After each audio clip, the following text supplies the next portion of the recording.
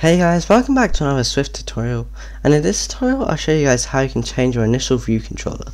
So I'll just set up a example scenario.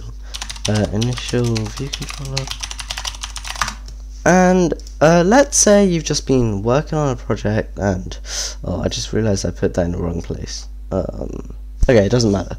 So let's say you've been working on a project and you uh, you've made this view controller.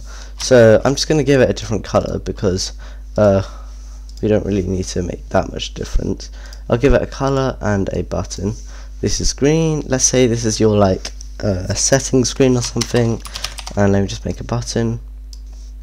Place that in the center. Uh, like that. And then you realize that you actually want a different screen to come up first. So let me make a new view controller make a new view controller and this would be your uh, let me just change the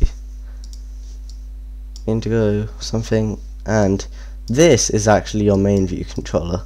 But now this one is going to be launched first so um, wait actually I should probably put the button on this view controller.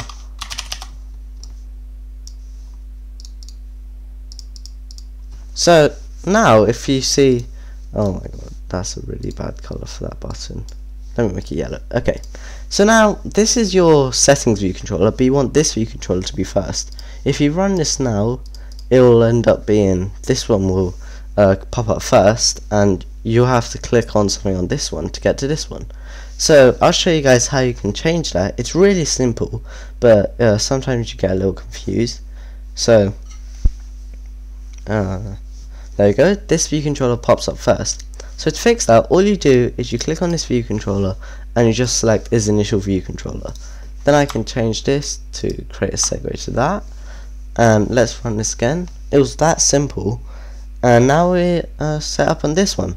Changing your initial storyboard is a little different. You can't actually change it. So the main.storyboard is always first, but then you can change what storyboards come after that with storyboard references and things. So make sure you use the right storyboard at first because that won't be able to change. Um, so yeah, thanks for watching and this was how you change your initial view controller. Bye!